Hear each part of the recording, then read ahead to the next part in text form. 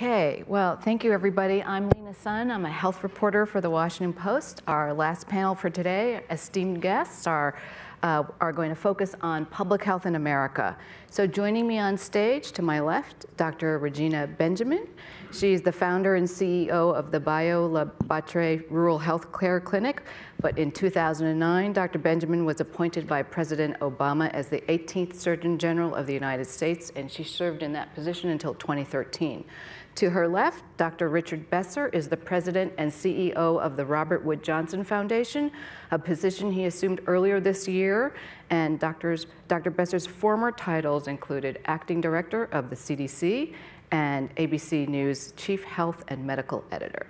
And to my left, all the way, is Dr. Sandeep Jauhar, a practicing cardiologist and a best-selling author.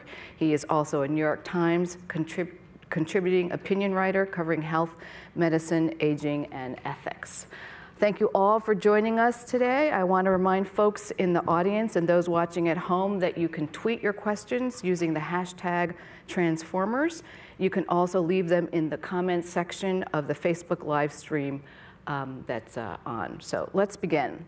Um, I was wondering if the three of you could each spend a few minutes describing for us as we look forward into the next 20 years, what are the biggest public health threats that you see and what are some possible solutions? And to keep your answers to five minutes, Dr. Benjamin, would you like to start? Sure, I told Richard he could start. Well, uh, well one of you, whoever wants to start yeah, can I'm, jump in. I'm, I'm happy to kick you off. Um, Thanks, thanks very much for, for having this panel. I, I think uh, having a discussion of public health mixed in with the discussions around technology is, is, is important. When, when I think about the challenges we face in, in, in public health and as we face in a world, there, there are these, these big threats of things that can, can destroy populations, uh, epidemics, uh, massive uh, natural disasters like we're seeing. Um, but then I, I think about what, what we face every day. And it's the, it's the everyday problems uh, that I think are, are, critically important for us to face as a society. Um, at the Robert Wood Johnson Foundation, we're focused very much on what it takes for everybody in, in this country to have a fair and just opportunity for health and well-being. And as you look at what the drivers are of health and well-being, it's, it's not about whether you have a doctor to go to. That, that accounts for about 20% of it. It's critically important, uh, and the, we, we, may touch on the legislation that's being considered in, in, in Washington, and uh, uh, I think the dire impact that would have on people's uh, access to, to care. But, but that's about 20%. What it really comes down to are those factors where we live, where we work, where our kids learn, and where they play. Um, are we creating communities in a society that makes it easy to be healthy? Uh, that makes it easy to get access to, to nutritious food and for uh, us to have physical activity, where it's easy for people to have jobs that pay a living wage so that they're not working three or four, for jobs that don't have benefits and give them access to, uh, uh to, to health care. Um, are we creating those, those, those factors in our society that, that lead to health? And I think we're going to come around to it uh, as, a, as a nation, as a, as a world, that these are things that everyone should have access to. And we're going to, we're to take that on. Um, we gave out our Culture of Health prizes yesterday, and I was in Little County in central Kansas, Allen County, where this county of 13,000 has decided that they're going to they're going to do what it takes to make their county healthier. Um, they, they were aware that people were leaving their county. There wasn't a, good reason for people to stay. There wasn't a supermarket. There wasn't a place to be active. And they've taken that on and have decided we're going to make it better. And those little bright spots around the country give me hope that as a nation, uh, we can do what it takes to, to give everyone that, that, that, that sense of, of, of the system works for them. And I, we're basically on the same page, so that's kind of why I had him start. But my whole thing is about prevention, and I think that the biggest problems that we have are those lifestyle um, conditions, the chronic illnesses like diabetes and hypertension and strokes and behavioral health, and the things that we talk about. They're not sexy, but they're, they're what's there. And that's really what we need to address and to, if we're going to change health in this country. Um, one of the things I'm doing in our clinic, I'm back in my little clinic in Bayou La Batre, Alabama, but we started a health policy research center. And the reason I started this health policy research center, it's called the Gulf States Health Policy Research Center, is that it, um, it focuses on the five states that border the Gulf of Mexico.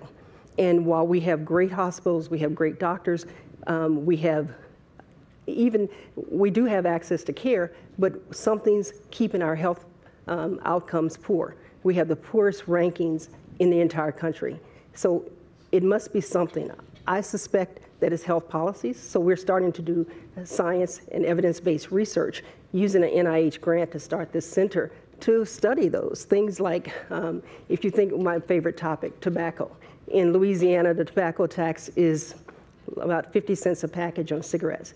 In New York, it's $5.50. Those policies matter. And you will see young people are much more sensitive to price. Are there other policies around? We have policies around how many liquor stores or in a community really have outcomes. And so looking at those policies. And so we've given out grants and we'll have a, a theme issue of a journal coming out. But those are the type things we need to do. But we're also focusing on the community, having the community participate and say, what is it that we need? And we've got young people and people who've worked in the community all these years, all of a sudden looking at research and saying, I'm a researcher. As Dr. Francis was saying, people who were afraid of research, afraid of participating, is now interested in, in showing some evidence of what they need. And so that's the sort of thing I think um, we need to focus on in the future.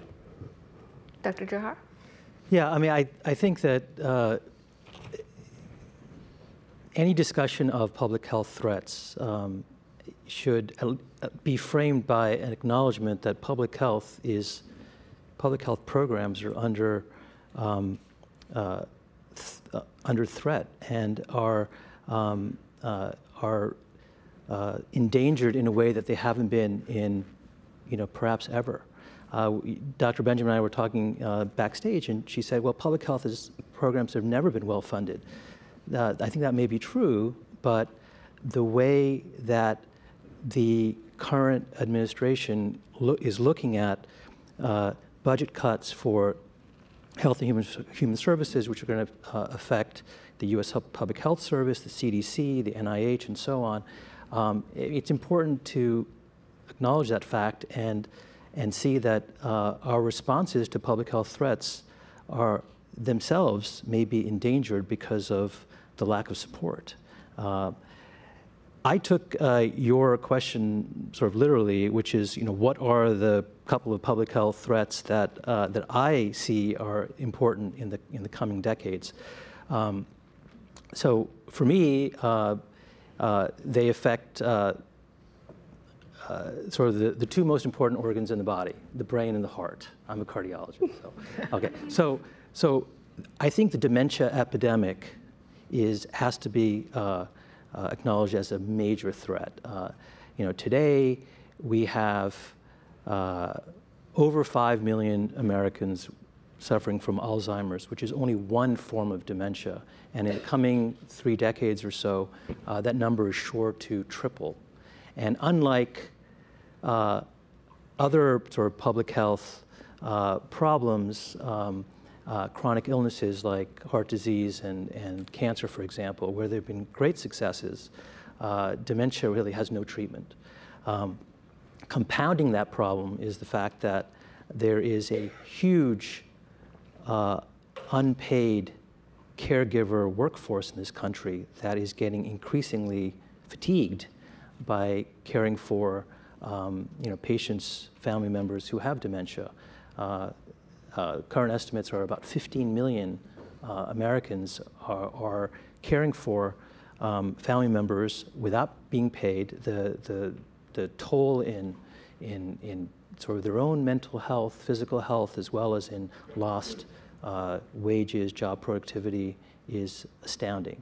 So I think that's something that needs to be acknowledged and there are very, very little the states are doing about it. New York State has a sort of pilot program that's um, uh, that's funding a, uh, a project that will um, provide sort of su supportive counseling and in some cases subsidize um, the hiring of help uh, to relieve some of the stresses on these caregivers. But um, that's one state program, and we need to do a lot more. Doctors need to do a lot more to, you know, actually inquire of family members: Are you capable of taking care of your loved one?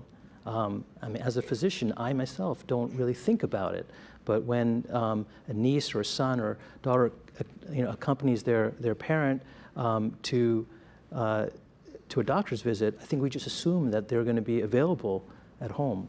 I don't think we can make that assumption. The other big issue I, I see uh, as a cardiologist is, um, is heart disease. And now some of you might say, wait, heart disease, that's old news. Well, um, or you might say, well, heart disease, that's a huge public health success, right? Um, and in some ways, it was and, and is. Um, in, uh, after World War II, one out of two Americans were dying of heart disease. And then, due to massive public health efforts like smoking programs, um, uh, uh, stopping uh, the advertising of cigarettes, um, as well as huge medical advances like the heart lung machine and, and uh, drugs, uh, the mortality for heart disease dropped dramatically from 1960 to about 2000, dropped by 60%. But there's very good data suggesting that, that those levels are leveling off and, uh, and may be on the uptick. Um, for a combination of reasons, increases in diabetes, leveling off of smoking um, uh, rates, uh, uh obesity, sedentary lifestyles, and so on. So, um, so I think that uh, heart disease is still the number one killer in this country, and uh, over half a million Americans die of it every year. So I think that's something that, that we have to acknowledge. So I have to ch jump in and mention about the leveling off of smoking. Can't be a surgeon general and not catch on the smoking part.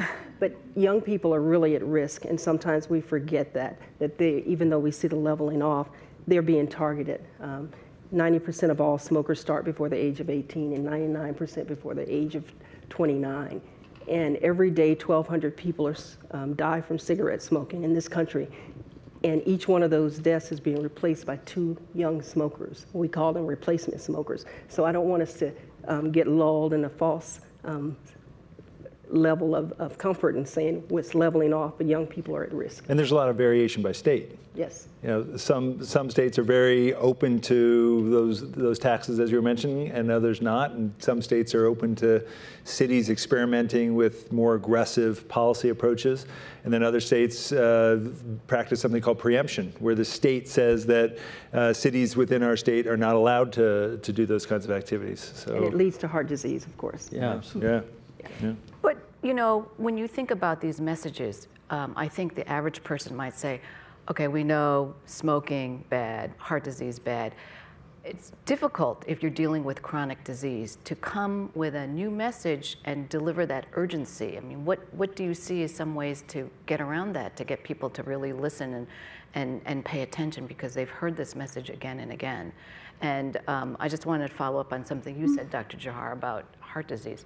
I think it's kind of interesting that Tom Frieden, when he left the CDC, the thing that he started was to focus on what he thought were the two biggest killers in the world, and one is cardiovascular disease, and one is fighting epidemics. And, yeah, yeah. yeah I, I think often, often we put too much of the focus on on personal behavior, and and say, well, you know, people just wouldn't would would would would do the healthy thing, and there's not as enough appreciation that the choices people make depend on the choices they have.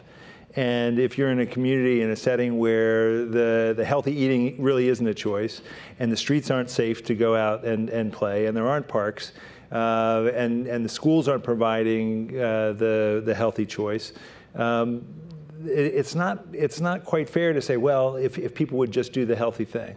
And if populations are being targeted with marketing of, of things that are unhealthy, uh, it doesn't really come down to that sense of it's just a matter of, of, of personal choice. So I don't think after eight years of, of talking to the public uh, through a camera at ABC, um, I don't think it's, it's just about finding that right message Uh, a lot of the work that you know Tom Frieden did in New York was putting in policies that kind of took it away from personal choice and and and and put in policies that that kind of forced forced behavior in certain directions. But the patients that I see do want to do better. They want their children to be healthier. They want their families to be healthier. Yeah. So we have to make it easier for them. It's very difficult to eat healthy and live healthy when you're saying you've got to take care of, you know, your your kids and then come home and be a caregiver for your your uh, parents or your grandparents and all the things most people are now doing two jobs at one time just trying to keep their ab- above water.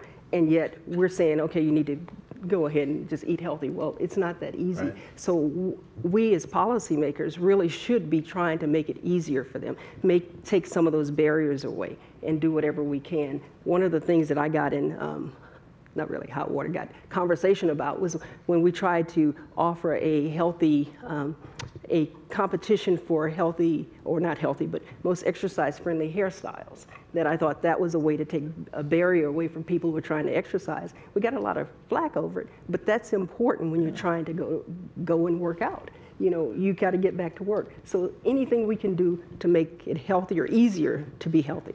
I also, yeah, I mean, I, I think that uh, what you're saying, which I totally agree with, is that that chronic disease, heart disease, uh, but really all chronic diseases are are social and political. Yes. They're they're not just biological. And ironically, this idea of biological disease, uh, sort of biological mechanisms, for example, for heart disease, was advanced by the U.S. Public Health Service. So by funding uh, a, uh, a, a study called the Framingham Study, um, which really tried to take sort of the psychological component out of heart disease and really focus on, you know, measurable metrics like diabetes and hypertension and whatever. Um, and that sort of advanced this idea that, that, that heart disease is driven by these biological factors. But, uh, you know, as Dr. Besser pointed out, these biological factors have so many social underpinnings. Um, uh, hypertension, for example, is seen more in, in poor communities. We know that poverty and racism and perhaps even income inequality drives hypertension in, in, in communities. So, um, so we're going to have to attack the, the roots of this problem, not just the, the, the uh, sort of end product.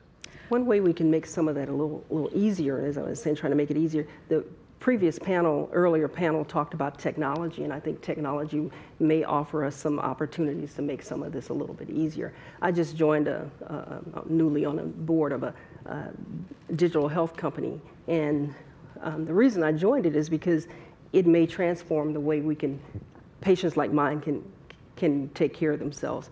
It's a little, um, it's a, as small as I guess the tip of a pencil, but it is a chip that goes into medications. It's a company called Proteus, and it's uh, it's been in the media. So it's um, the chip goes into a capsule, and it monitors when you take the pill whether you took it or not, and it also monitors some of your heart rate, so or heart uh, effects are around it, so you can measure them on your your digital phone or, or iPhone or whatever, and that way you know if you took it, you know if it's responding. You know, a child that's a kidney transplant or something knows whether they can play a sport or not.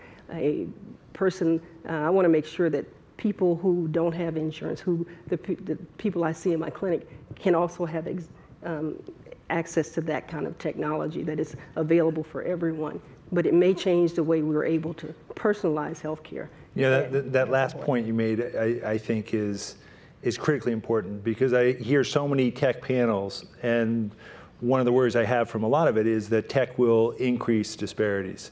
Uh, that it's tech, tech for the haves, not for the have-nots. And you know, I want to I want to see efforts to to spur technology to look at how do we use technology to to address the health issues for the most vulnerable members of society and, and to, to close some of those gaps.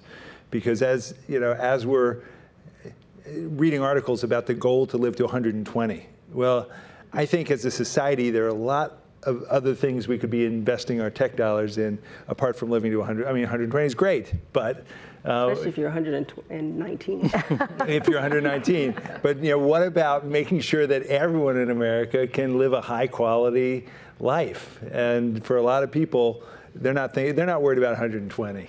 Yeah, I, I, agree. I think the impact of technology is potentially uh, revolutionary, not just on patients, but also on caregivers. I, I, I, wrote a piece recently about a gadget that one can use to um, that sort of uh, stores the the, the muscle tremors of a Parkinson's patient. You can wear the gadget and experience the tremors of your loved one.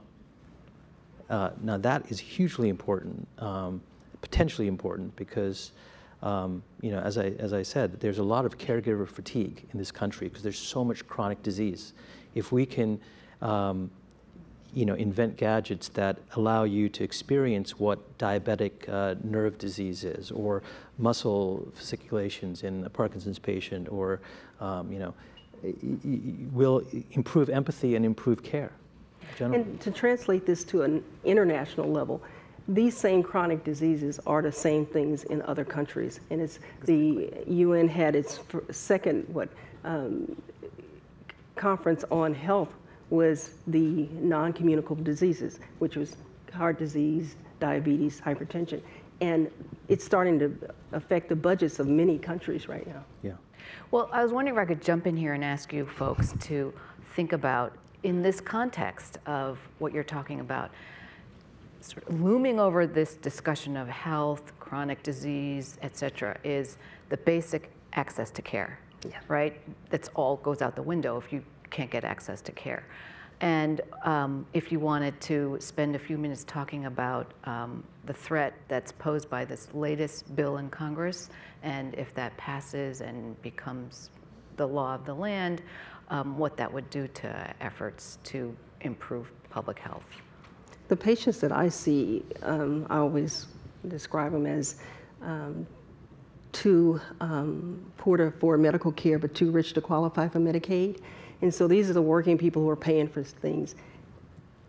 It's very difficult um, for them as it is. And, and the healthcare legislation that we're discussing would be very, make it very hard. Um, However, we've always taken care of patients. We will always take care of them. We won't let somebody sit on the, lay on the floor and die.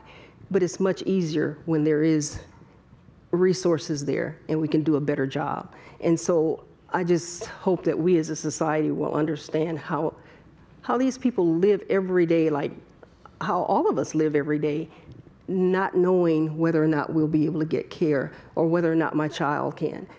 It's, it's gotten to the point that it's so political that you forget there are real people there. They're actually people one on one who have an, a real life experience with every policy that we're making and every decision that we're making. So I think um, the access to care really does matter. I've seen over the last couple of years just how much has been improved just in the last five years. And so I just hope we don't go backwards. Yeah, I, you know, at the, at the foundation, one of the areas that we're very focused on is access to care. We we believe that everyone in America should have access to high quality, affordable, comprehensive health care. That people with with pre-existing medical conditions shouldn't have to pay more. Uh, that's that's part of, of, of our concern over this bill. The other has to do with with Medicaid.